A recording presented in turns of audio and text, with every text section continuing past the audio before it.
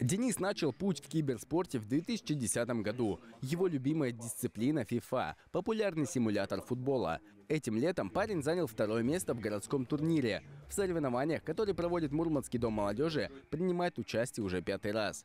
Говорит, здесь соперники сильнее. Никогда не выигрываю. Никогда. Всегда проигрываю вечно. До финалов дохожу, и вот ни чуть-чуть не хватает.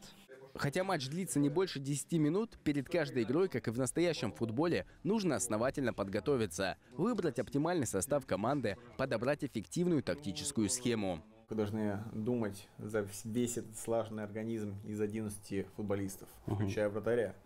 Вы тренер этого организма. Турниры по FIFA в Доме молодежи проводятся уже больше года, практически каждый месяц. Это тоже очень важное направление молодежной политики. То есть э, сейчас очень много молодежи э, участвует в таких турнирах. Э, у России очень сильные команды на киберспортивных турнирах, и это очень сильно развивается. Попробовать свои силы в киберспортивном турнире может любой желающий. Даты проведения можно узнать в социальных сетях Дома молодежи. Для тех, кто не является поклонником виртуального спорта, здесь, кстати, тоже тоже найдется чем заняться. Например, научиться танцевать, записать свою первую песню или познакомиться с азами режиссуры и фотографии. Кирилл Грапеняк, Максим Кравченко, ТВ-21+.